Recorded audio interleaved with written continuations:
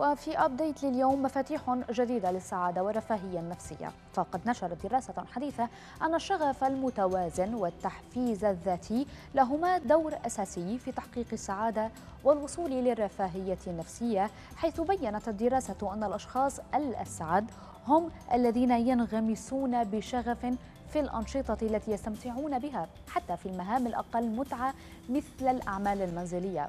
وطرحت الدراسة سؤالا أساسيا وهو لماذا يكون بعض الناس أكثر سعادة من غيرهم؟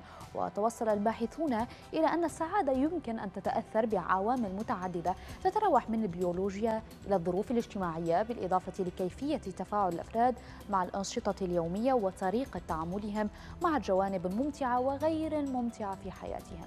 ونصحت الدراسة المشاهدين بضرورة أن تكون شغوفا بشيء واحد على الأقل وإذا أمكن بأكثر من شيء. في الحياة خاصة إذا كان الشغف متناغما بطبيعته مع القدرة على التنظيم والضبط الذاتي لنشاطاتك وأوقاتك. الأمر الذي يفتح آفاقا جديدة لفهم السعادة والوصول لحياة مليئة بالرضا والازدهار.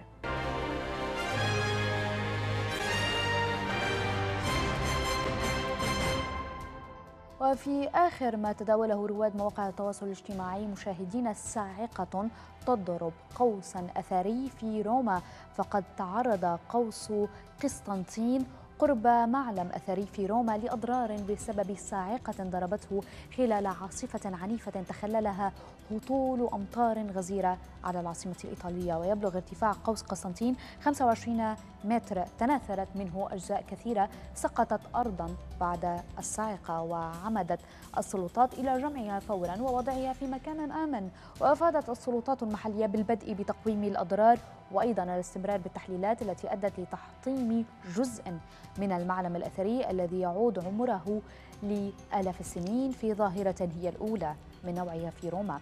وقد شيد قوس النصر هذا تمجيدا للإمبراطور قسطنطين عام 315 ميلادي للاحتفال بانتصاره في معركته ضد منافسيه.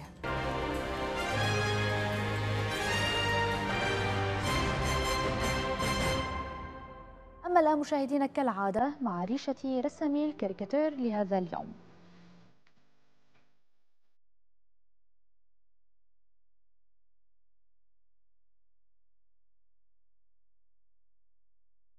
هكذا رأينا الصحافة اليوم بعيوننا. إلى اللقاء.